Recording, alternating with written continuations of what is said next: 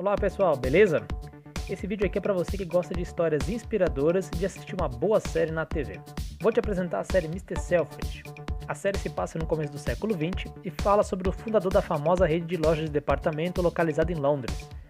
Harry era conhecido por suas estratégias de marketing audaciosas que até hoje inspiram pessoas.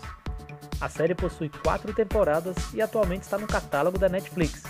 Além da produção impecável na série, é possível também extrair 10 lições que servem para todos nós. Vamos conhecê-las?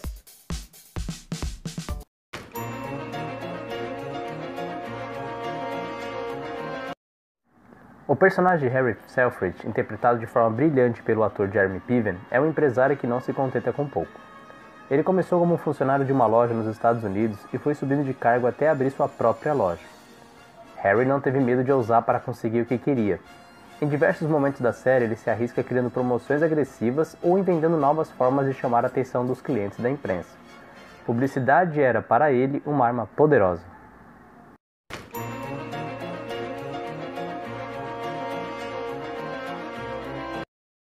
Na segunda temporada, Harry começa a treinar Gordon, seu filho, para sucedê-lo nos negócios.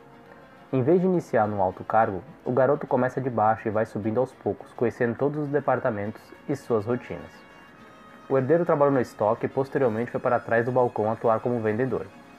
Gordon só assume um cargo administrativo após conhecer grande parte dos departamentos da loja. Dessa forma, além de compreender de forma prática como o negócio da família funciona, ele cria uma ligação forte com os funcionários e é capaz de enxergar os pontos fortes e fracos da empresa.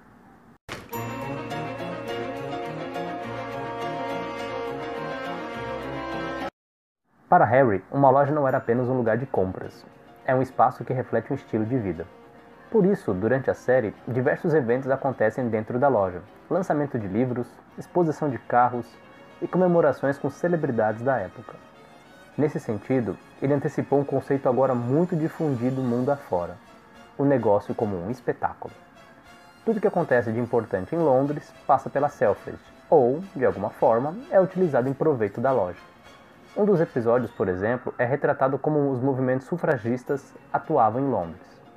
Em vez de ignorar a presença delas, Harry decide criar uma vitrine para apoiar o movimento em favor do voto feminino.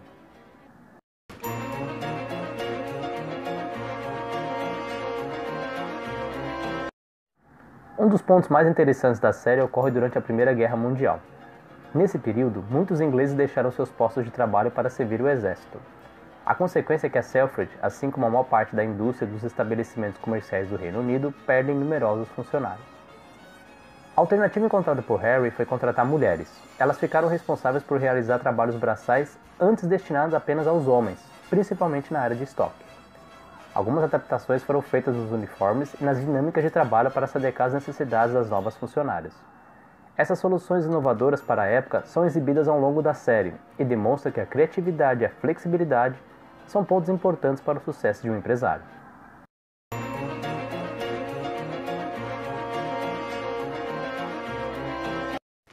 O bom atendimento é fundamental para o empresário. As candidatas vendedoras da loja passavam por um criterioso processo de seleção. As escolhidas devem ter um comportamento impecável diante dos consumidores. Duas características são fundamentais. A primeira, saber apresentar bem o produto. E segundo, perceber o que os clientes desejam. Para isso, tanto Harry quanto seus chefes de departamento estão sempre atentos aos desempenhos dos seus funcionários. Além disso, eles recebem um treinamento específico que varia de acordo com o produto que irão vender.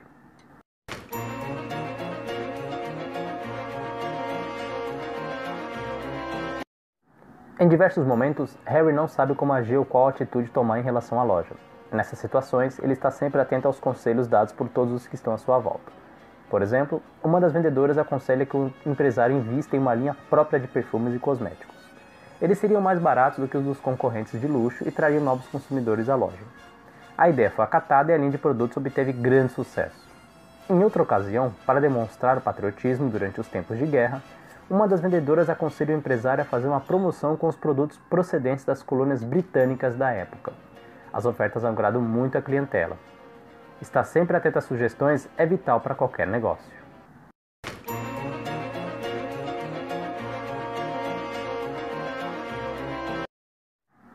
Um dos pontos fortes da Selfridge é a vitrine. Ela ajuda a criar desejo pelos produtos e incentiva os consumidores a entrarem na loja. O que é quase trivial nos dias de hoje, era uma grande inovação no início dos anos 20. Todos paravam para ver o que era exposto na Selfridge. As vitrines sempre se tornavam assunto entre as pessoas que circulavam na rua. Mas muito além de apenas mostrar os produtos, as vitrines da Selfridge são como pequenas peças de arte. Dentro da loja, a forma como os produtos eram dispostos também é essencial para a realização das vendas. Saber expor o produto é tão importante quanto saber vender.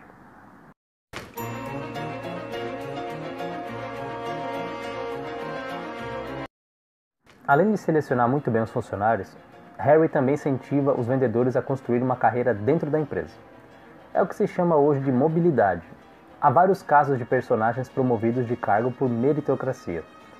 O empresário também investe nos talentos, uma das vendedoras, por exemplo, é enviada a Paris para aprender a montar vitrines. É o que fazem hoje as multinacionais com rodízio de expatriados.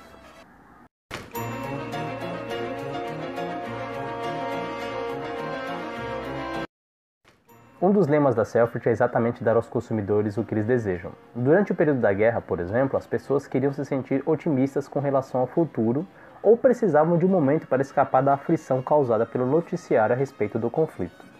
Nessa época, Harry criou a ideia de que ir a Selfridge não era apenas fazer compras. Os clientes que entrassem no estabelecimento encontrariam uma forma de diversão e escapismo para os problemas que afligiam a sociedade da época. A principal lição é oferecer não apenas produtos ou serviços, mas algo que vá além do bem material. É a ideia de um comércio que se torna parte de um espetáculo. Um exemplo é quando Harry traz grandes figuras para dentro da loja, como o aviador Louis Blériot a bailarina Anna Pavlova e o escritor Sir Arthur Conan Doyle, criador do lendário personagem Sherlock Holmes.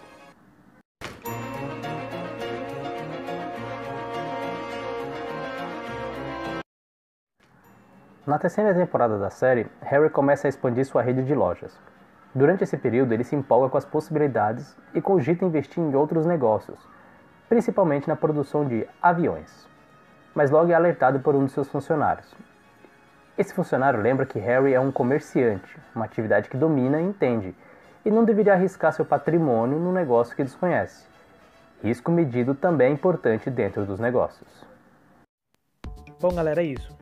Tomei o cuidado para não colocar spoiler também e espero que vocês gostem. Comentem depois o que acharam da série e das dicas. Fiquem de olho no canal, se inscrevam.